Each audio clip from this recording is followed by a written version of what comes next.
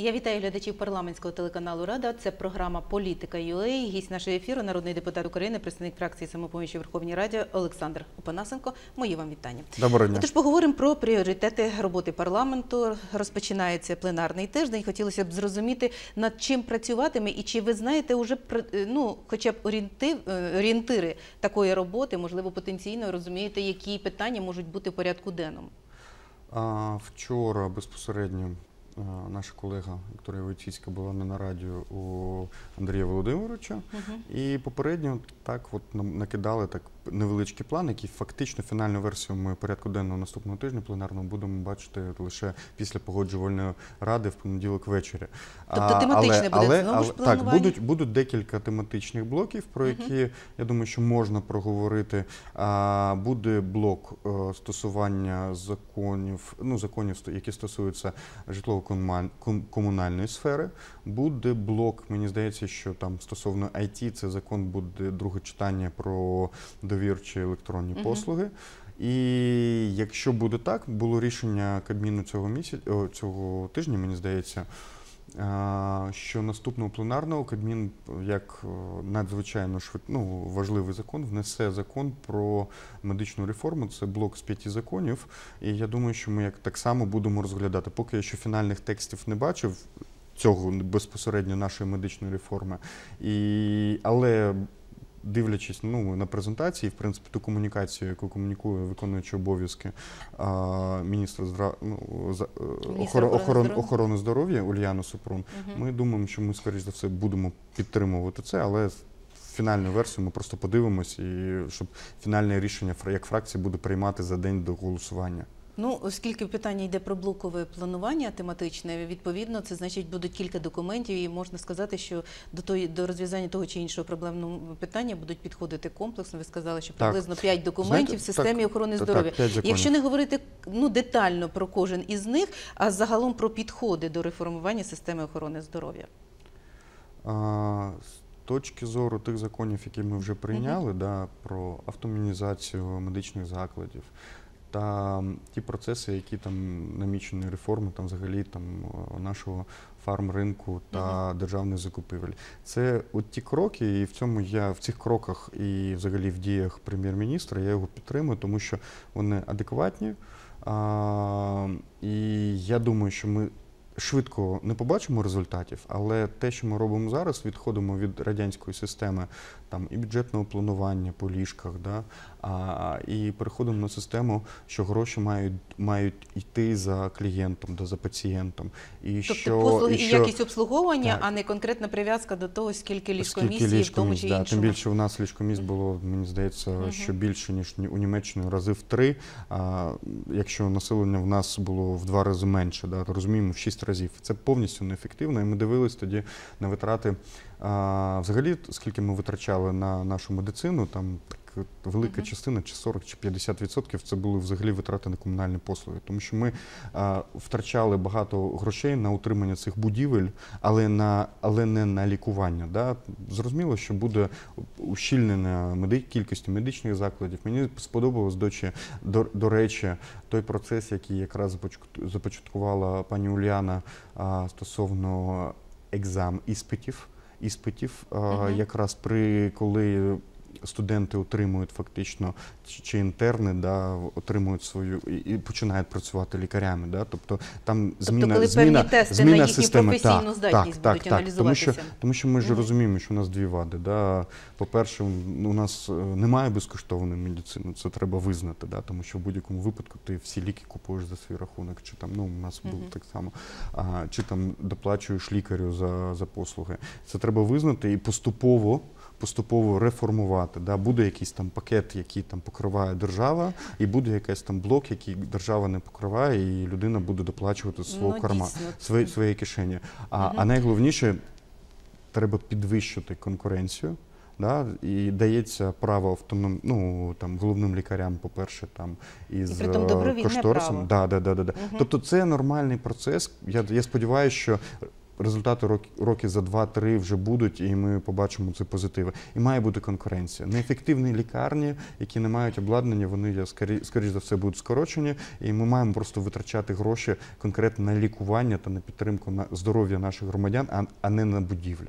Ну, є різні, якщо експерти аналізують по-різному, є плюси і мінуси в цих нових, але в нас все, що нове, приживається досить складно. Тут е, варто до цього ставитись досить е, об'єктивно, але от стосовно фармації, ви сказали, то на останньому засіданні Кабінету міністрів дійсно е, було прийнято рішення виділити гроші на погашення вартості ліків для окремих категорій. Це, напевно, також позитив, який не так е, незабаром уже побачать українці. Але загалом, от ви сказали, що ухвалюються окремі рішення, і ми практично щодо реформування системи охорони здоров'я підходимо не комплексно, а підходимо покроково, змінюючись там комплексна реформа, але я не можу повністю Ну, розказати про це, тому що це на не мій, руках це документів для того, щоб мій- їх Це не мій профільний комітет. Да, і я не можу експертно проаналізувати і сказати це добре. Я можу сказати лише своє, а, знаєте, відчуття та свою Ну, думку стосовно того, як пересічний ну, мешканець. Для мене зараз важливо, наскільки ви підтримуєте я такий підход до реформування ніж системи ніж охорони здоров'я. Да. Тобто більш, більше, Більше так, так, ніж ні. більше Але так, от так. стосовно ви от сказали навіть про позитив того, що робить на своїй посаді виконуючий обов'язки міністра охорони здоров'я, і можливо найближчим часом на порядку денному з'явиться і питання щодо призначення да, Оляни що на її що- пос- на посаду міністра Так. охорони здоров'я. Тобто... Я сподіваюся, що не буде проставочки це тої ВО. Да, я сподіваюся. Я думаю, що здорового Мгм. глузду парламенту вистачить, щоб дати 226 голосів там якраз на безпосередньо на підтримку пані Уляни. Так думаєте ви, чи думаю, і є позиція фракції щодо цього А питання? ще позиції фракції немає, тому що у нас Мгм. є певні дискусії, да, щоб ви розуміли, як наша фракція приймає рішення. У нас є там напрямки, наприклад, ми бачимо якусь болючу проблему чи якусь реформу. У нас є там такий, як е, мозковий штурм. Та? Ми аналізуємо, дивимося, кожен накидує якісь ідеї, свої бачення, свій зворотній За зв'язок. напрямками. Да. Потім, да, тобто ми можемо обговорювати у нас іноді там, там стратегічні сесії проводимо. Потім, коли вже ми бачимо питання в порядку денному, а більшість питань вони вже є обговорені. Да. Кожен чув позицію та аргументи. Ми просто приймаємо фізичне рішення, коли є вже питання в порядку денному. Поки що ми не голосували да, стосовно будь-яких кадрових ротацій, але ми обговорювали можливі кадрові ротації, за що ми будемо виступати чи не будемо виступати. Тобто скоріш за орієнтовно все, є там у нас ті є міністри, які ви хотіли б, щоб вони покинули у свої нас є питання до міністру паливо та енергетики. Є питання, от, наприклад, в мене до, до міністра юстиції. У мене є багато питань до міністра з окупованих територій. А, але до міністра з охорони здоров'я менше питань там чи Мін- Мінфіну. Тобто да. є питання, але ще немає сформованої позиції. Фракція Позиція ще не буде- визначалася. Позиція, позиція буде сформована, сформована безпосередньо перед, перед розглядом під куполом. Ну давайте тоді поговоримо про пріоритети, які визначила ваша фракція на найближчий період. Адже цей період е, пленарний буде одразу два тижні поспіль. Е, Чи ви вже визначили для себе пріоритети, на яких документах наполягатиме і з якими пропозиціями ви виходите? Ми без принципі, якщо подивитись на історію комунікації фракції самопоміч, ми вже там останніх півроку виступаємо з чіткими меседжами, що необхідно розглянути. Перше закон про вибори на пропорційній основі з відкритими списками. Ми маємо рухати І цю маєте реформу. варіант таких Маємо змін? тих, тих, тих, тих законів декілька. Мгм.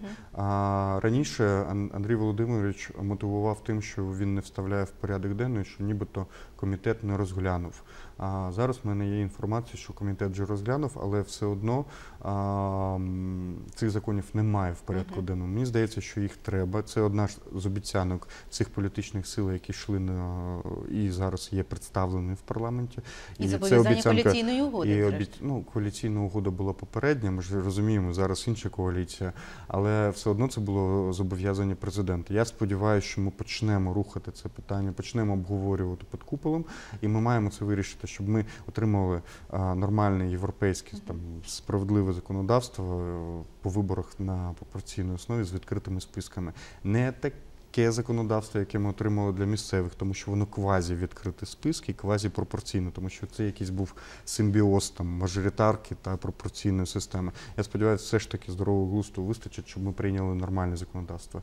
Друге питання, за яке ми виступаємо, це антикорупційний суд. А, Нам необхідно рухати, рухатися далі. Ми бачимо, є певні вади яка ну певні вади вза- взагалі з нашою за загальмованою такою реформою судової системи. Суди реально не працюють. Ну не працюють. Тобто, якщо ми не І можемо ми впоратися вводимо- з такою машиною, маємо- як е, маємо- суди, то напевно Ми с- думаєте, корупційний суд не веде ми порядок маємо там? зробити. У нас є набу. Це незалежний орган. Мгм. Більшості, я сподіваюся, все ж таки він ще не є незалежним. Нам потрібен так само незалежний, не від банкової, від будь-яких там е, гілок влади, незалежний антикорупційний суд, який в спайці разом з НАБУ буде працювати та садити корупціонерів. Тому що ну це просто ганьба.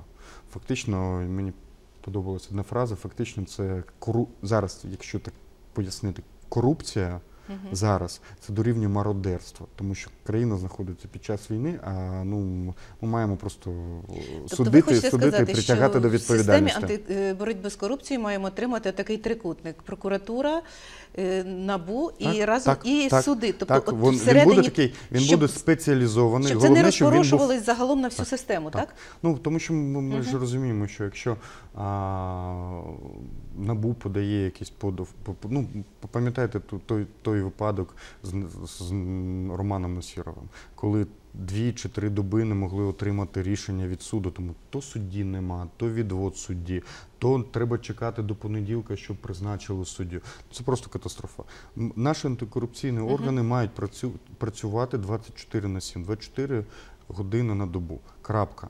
І я сподіваюся, і я дивлюся той спротив, який є. Я думаю, що ми маємо це просунути. Але є проблема. Професій, е, профільний комітет е, нібито визнав проєкт цього закону як антиконституційний. Ну, будемо дивитись. Ну, знаємо, ми система, система пручається, щоб нічого цього не прийняти. А, третє питання, якраз безпосередньо з пріоритетів роботи нашої фракції. Ми зареєстрували більше ніж 8 місяців тому, коли у нас був там кейс Новінського чи когось. Зміни до регламенту Верховної Ради та зміни до кримінально-процесуального кодексу стосовно полегшення притягнення народних депутатів до відповідальності.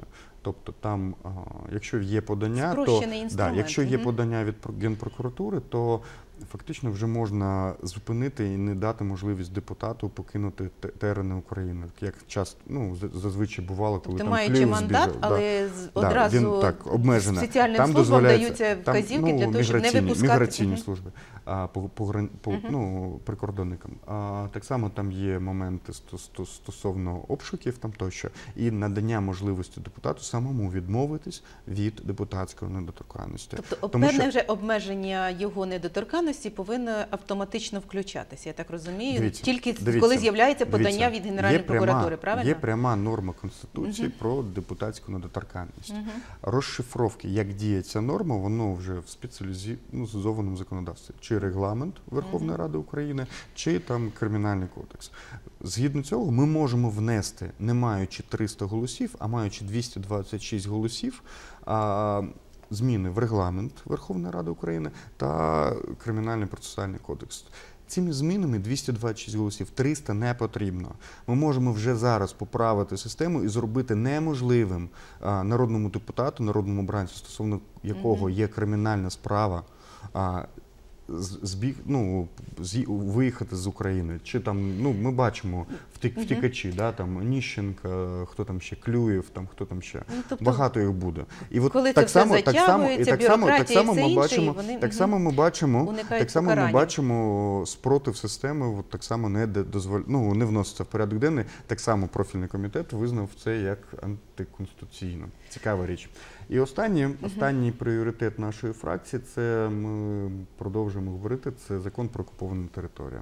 Ми маємо нарешті поставити а, крапки на і над і і визнати те, що є Знову ж окупованим, таки, окупованим. на засіданні жаль- профільного комітету цей документ знаєте- було відхилено. А ви знаєте, цікава Саме річ. а ви знаєте, е, в авторстві річ. від е, Оксани Сироїд. Ну, ну там велика група е, Ну, вже авторів. після роботи Але робочої знаєте, групи. Знаєте, цікава річ, що зараз взагалі мені здається інформація, ну що вийшло чи апарат Верховної Ради, чи звернулися, будуть замінений комітет. Замість е, того попереднього, я не пам'ятаю там який був комітет. Тобто зараз буде, буде зараз буде комітет? комітет Пашинського.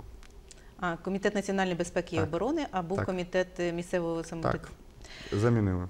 Так, от пріоритети вашої фракції тепер зрозуміло. І, а от які ваші особисті пріоритети? Ви нещодавно зареєстрували е, законопроект про особливості здійснення професійної діяльності з регулювання, е, з врегулювання простроченої заборгованості. Це так званий законопроект про колекторів і про їхню діяльність, чи щось інше? Що насправді передбачає цей документ, і як він відрізняється загалом від закону про колекторську діяльність?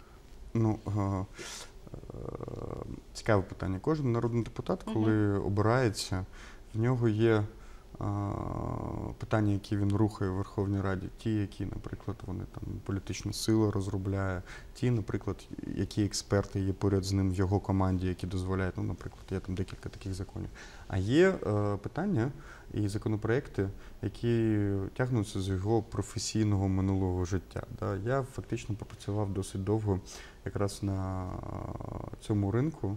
Я бачив всі вади, як воно взагалі е, Тобто, роботи з всі роботи, проблемні роботи з боргами. ви- Ви знаєте, проблема в чому, що по-перше, е, діяльність е, цих збирачів е, боргів вона взагалі не врегульована. У нас може цим займатися будь-хто. Будь-хто може фактично телефонувати фізичній особі, казати там поверни борг, має ну і будь-який час. І це в різних, ви зрозумієте, в ви розумієте, це тиск, пропон- тиск, великий тиск, можуть писати листи, там можуть. Наприклад, приходити навіть на роб- на роботу, да. тобто, ну, Можуть вони можуть біля робити під'їзду і все, все що, все, що завгодно. І Е, найголовніша чи- річ, а, да, от, ну, зараз бага... точиться дискусія. Фактично проти нашого закону вже виступив сам, сам бізнес, який от, займається цим е, врегулюванням заборгованості. Вони бачають, що це за Тобто вони не хочуть велика, певних правил? ве- ве- велика бюрократизація там Мгм. тощо. А, а боржники не хочуть тим, мотивуючи тим, що нібито ви легалізуєте колекторську діяльність. Угу. І в мене відповідь: я, я отримав два негативних висновки від них. Я думаю, що ми зробили щось добре, тому що якщо не задоволені обидва, да, Тобто, тому якщо що закон комусь це не закон- подобається, значить закон, він реально закон добрий. має бути збалансованим. Він не може бути на боці чи бізнесу, чи на боці боржників. Він має відповідати суспільним інтересам і балансу е, гравців. Стейкхолдерів, фактично. Вам вдалося що ми можемо- досягнути цього Я, я сподіваюся, що вдалося. Можливо, ми там якісь там ремарки, там було декілька ну, таких нормальних коментарів. Але е, що головне ми хоч цим законом хотіли зробити? По-перше, ми вводимо регулювання, вводимо регулятор цього ринку. Чому? Моє, моє чітке переконання, а, все те, що пов'язано, наприклад, з грошима фізичних осіб, Мгм. чи з такими послугами, які а, заходять на територію да, от, життя людини, да, от такі чутливі досить Мгм. питання. А там має держава бути е, таким регулятором та контролером. Тому що зараз Держава в якості, звідси, нас зараз- залишається дуже зараз- мало часу, тому я хочу зараз, е, регулятор. Це Зараз має бути незалежність цього регулятора зараз- і зараз- держава в якості кого? Якийсь зараз орган я має бути я скажу, створений. Зараз фактично, зараз фактично це не регулюється нічим. Всі займаються цим. А в нас е, ми виставляємо регулятор е, Мін'юст, тому що фактично це юстиція. Це як е, цеглинка вище приватних виконавців. А так само ми вводимо поняття СРО. Ми збільшуємо Мгм. кримінальну відповідальність, якщо вони займаються цією професійною діяльністю. Ми вводимо страхування цієї професійної діяльності, якщо вони завдали якоїсь шкоди. Вводимо обмеження по кількості контактів. Мгм. Тощо фактично цією діяльністю, чутливою діяльністю, зможуть займатися лише ті люди, які пройшли та здали кваліфікаційний іспит в Мін'юсті. І отримали ліцензію на цю Ну, це правильно? не ліцензія, а Ну, повинно кваліфікація. бути. Ну, ну, це нехай буде кваліфікація. так. Назва- Мгм. Називаємо це так. І я сподіваюся, що якщо б цей закон існував разом з законом, який я розробив ще в 2015 році з банкрутством фізичних осіб, ви знаєте, ми не мали б такої проблеми, яку ми мали з тими валютними кредитами зараз, коли є багато о, учасників ринку, які просто працюють по безпределу. да? тобто в- Мгм. в, не, в незаконного поля. І у людини немає права взагалі там на будь-яке списання боргів, якщо, наприклад, вона нічого не має. Да? Це якраз про це був закон про банкрутство фізичної особи. До речі, банкрутство фізичної особи та легалізація, не легалізація, а, а чесні конструктивні правила та норми праці цього ринку, вони існують у всіх розвинутих країнах. Добре, от про борги. Е, Зараз е, в нас є можливість е, повернутися до цього питання і в рамках конфіскованих півтора мільярда. Як ви дивитесь взагалі можливість, щоб ці гроші були потрачені саме на закриття боргових зобов'язань України і в яких рамках? Або взагалі, от як повинна Україна розпорядитися півтора мільярда конфіскованим від Януковича і команди? Угу. Треба, треба, треба розуміти, що за час правління Януковича наш державний зовнішній борг зрос декілька разів. Угу. Да, тобто гроші збиралися, бралися, залучалися, і фактично вони потім а, пилилися. А, і така була у нас фінансова система. На жаль, вона трошки ще в деяких частинах залишилась. А, те- це ми називаємо мародерством. Так ось, а, борги збільшилися. І моя диспозиція лише одна. Ми не маємо направляти ці гроші на споживання, як зараз в принципі хочуть це зробити. Ми маємо це направляти чи на інфраструктурні проекти, які збільшують ВВП та покращують нашу інфраструктуру, чи на викуп тих боргів, які наробили там попередники. А зараз є така ситуація, так як Україна знаходиться в ризиковій зоні, а наші євробонди, наприклад, які мають бути погашатися в 2019 році, ну, Ну, там, ми там можемо, багато ми, ми можемо, ми можемо там, да, да, да, ми зараз входимо в фазу великих виплат. Ми можемо а, викупати ці борги з дисконтами. Тобто зараз вони котуються на не 1 євро, як 70 євроцентів, тобто 30% дисконту. І я думаю, що держава має таким шляхом, там працюючи там тишком-нишком, так, щоб не було інформації на ринку. Чому? Тому що якщо буде інформація, ціна зросте. Викупати через посередника. А найголовніше, ми маємо просто прибрати ті опціони, які були підписані попе- попереднім е, міністром фінансів, коли ми реструктуризували два роки тому євробонди. Фактично, Україну ми підписали те, що на наших дітях з 2020 по 2040 буде ярмо. І якщо Україна буде зростати швидко, то ми будемо сплачувати багато. Ну така такі цифри. Нам списали 3 мільярди. А якщо ми будемо зростати більше ніж 5% на рік, то ми сплатимо 30 мільярдів. Тобто цих півтора мільярда ми могли б якраз і Ми могли би зараз вийти. на- Ми можемо, тому що вони зараз ці е, опціони котуються з дисконтом е, 60%. Ми можемо якраз от за ці мільярд. З чимось викупити ці борги і у нас ну і прибрати взагалі питання опціону на 2020-2040 рік. Олександр Опанасенко, народний депутат України, представник фракції самопомічі Верховній Раді, був гостем нашого ефіру. Дякую за візит до нашої студії. Дякую всім, хто нас дивився. До зустрічі.